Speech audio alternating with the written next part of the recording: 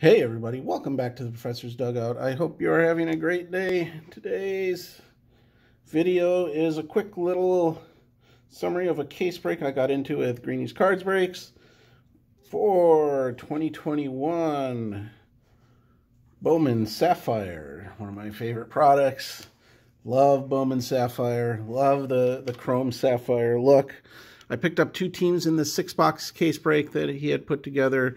One inexpensive team, the Colorado Rockies, and then also the Minnesota Twins, which are one of the better teams to pursue because they got um, several first Bowmans to that you kind of want to grab.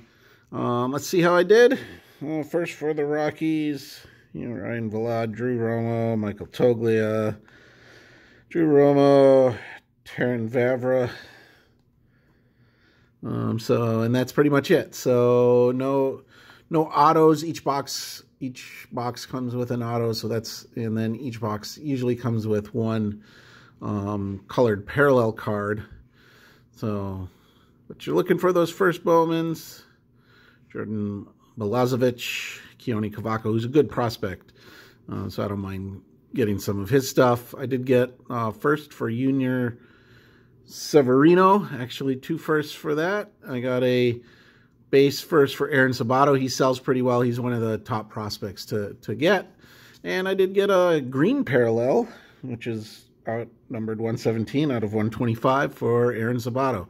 So always great to get a first Bowman color parallel refractor out of Bowman Sapphire. These sell extremely well. Um, so I'm going to hold on to this, see how if he becomes a, a good prospect overall.